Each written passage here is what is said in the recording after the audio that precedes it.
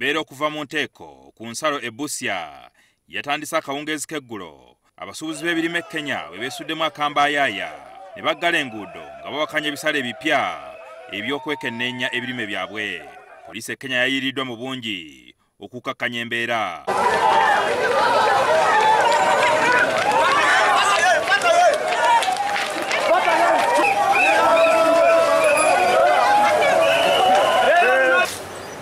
told us that now that uh, they, there, there's going to be an increment of uh, from one shilling to 45 shillings per bag. It's not the first time that we are, we are solving the same matter, every time the same matter.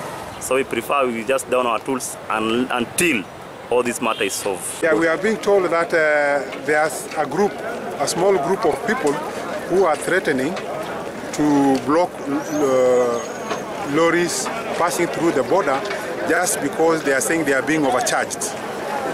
Uh, but uh, we have said that uh, if anybody has any grievances, they either go to the respective offices that they are complaining are overcharging them or they go to court. olwaleero abasuubuzi bannayuganda nabo bakedde kwegatta ku bannaabwe okuwakanya ebisale bino. Bali kulemesa emirimu. Ate nfe tulye wano. kati tugenda kugalawo oba enyaanya oba ki kyona ekigenda kuyita wano tulabe benyene besotinge uganda yesinga okusuubuza ebirime e kenya. Nga kati abasuubuzi bagamba nti okubongeza ssente okuva ku siringi 35 okudda ku 16 kigenda kukosa enzirukanya y'ebyamaguzi wakati wa kenya ne uganda.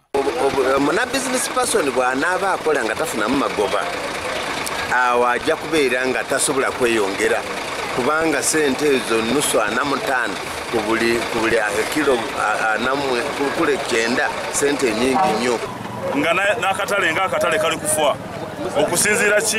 Otutunulira ebintu emoloka zetwapimese yonna n'enyanya ziri kwonoonekera wano. Omusolo baguwanise.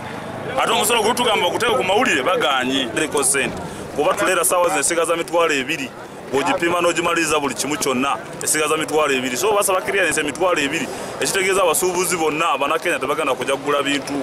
Abasuubuzi bagamba nti tebagenda kukkiriza mmotoka yonna. Esala okuva mu uganda okudda e kenya okutuusa ng'ensonga yaabwe ekoleddwako. Okujjako nga museveni akubidde ohulu esimu namubuuza kiri ku boda wano ibusa kibi kye kibadde?